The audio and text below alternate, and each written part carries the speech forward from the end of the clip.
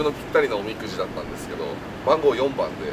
4番打ちたいんでやっぱ4番ってまず縁あるなと思って開いたら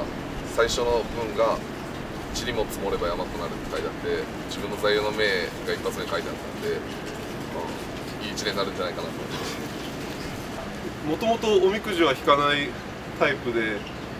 自分の運は自分で決めたいっていうなんか